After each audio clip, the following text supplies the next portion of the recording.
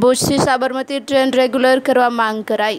ભુજના સ્થાનિક અગ્રણી ભરતભાઈ સંઘવી દ્વારા ભુજથી સાબરમતી અમદાવાદ જતી ટ્રેન રેગ્યુલર કરવા માંગ કરાઈ હતી. કચ્છથી અમદાવાદ જતા પ્રવાસીઓને વધુ હાલાકી ન પડે તે માટે આ ટ્રેનના સમયમાં પણ ફેરફાર કરવા માંગ કરાઈ હતી. ભુજ સાબરમતી ટ્રેન અમદાવાદ જવા માટે બહુ જ ઉપયોગી ટ્રેન છે. હજી જો એમાં થોડોક સમય એમાં વહેલો કરવામાં આવે તો લોકો એનો સારામાં સારો લાભ લે છે અને અતિ સારામાં સારો લાભ રહી શકે અને લોકોને સાથે રેલવેને પણ આવક વધી શકે. પણ કયા કારણથી છેલ્લા છ મહિનાથી તમે જોવો છો કે રેલવેનું વહીવટી તંત્ર મહિનો પંદર દિવસ, મહિનો પંદર દિવસ આવી રીતે વધારતા આવે તારીખો, તો લાંબા ગાળાના લોકો કોઈ આયોજન નથી કરતા અને શું કરી રહ્યા છે જનપ્રતિનિધિઓ? શા માટે કચ્છની પ્રજાને હેરાન કરવામાં આવી રહી છે?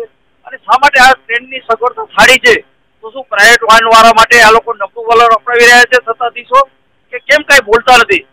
આ નહીં ચાલે. મોદી વિકાસ મિશનના કચ્છના અધ્યક્ષ તરીકે હું આપણી ચેનલના માધ્યમ દ્વારા વિનંતી કરું છું સત્તાધીશોને સાહેબ હવે બહુ થઈ ગયું છે. મોદી સાહેબ અત્યારે જ્યાં રામ મંદિર બનાવી શકતા હો ને તમે એક આ ટ્રેન ચાલુ છે એને પણ લંબાવી નથી શકતા. કયા કારણ છે? શું તમે ક્યારે રજૂઆત કરી છે? તમારી કોઈ રજૂઆત તો પડતો નથી પડતો. એ બિલકુલ નહીં ચાલે. સાબરમતી ટ્રેન તાત્કાલિક કાયમી ધોરણે ચાલુ કરવાનું નિવેદન આપો, જેથી કરીને લોકો લાંબા ગાળાનું આયોજન કરી શકે અને એડવાન્સ ટિકિટ લઈ શકે અને સરળતાથી લોકો પ્રવાસ કરી શકે. અને બીજું, કે અગાઉ પણ મારી ભુજ હરિદ્વાર ટ્રેનની માંગણી હતી. મને એવું જાણવા મળ્યું છે કે હરિદ્વાર ટ્રેન ગાંધામ સુધી ગાંધામથી હરિદ્વાર ચાલુ કરવા માંગે છે.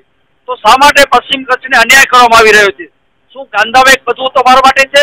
જે હોય તે બધું ગાંધામને આપવામાં આવે છે? હવે આ બિલકુલ નહીં ચલાવી લેવામાં આવે અને તાકીદે આના ઉપર જો આ ટ્રેન ભૂતની હરિદ્વાર ચાલુ નહીં કરવામાં આવે, તો અહીંયા ઉપવાસ ઉપર સત્તાધીશો પાસે બેસીશ. અને મારા ભુજ રે, પશ્ચિમ કચ્છને તમે અન્યાય કરો છો, હવે બહુ થઈ ગયું. હવે બે હજાર ચોવીસનું આ મોદી શાસન છે મોદી એ તો મુમકિન હે, અને આ મુમકિન અમે કરી બતાવશું, મોદી વિકાસ મિશન. આ બાબતો સક્રિય, સક્રિયપણે જાગૃત રહેશે. લોકોના કોઈ પણ પ્રશ્ન હોય, કેન્દ્ર સરકારના હોય, તો અમે અમારી પાસે રજૂઆત કરશે. અમે તાત્કાલિક એ રજૂઆત જે તે અધિકારી તંત્ર મીડિયા સમક્ષ પર કરી અને લોકોને જાગૃતિ આપશું અને દેશના વિકાસમાં કચ્છનો વિકાસ થાય. એમાં અમે ખાસ આપણે સહકાર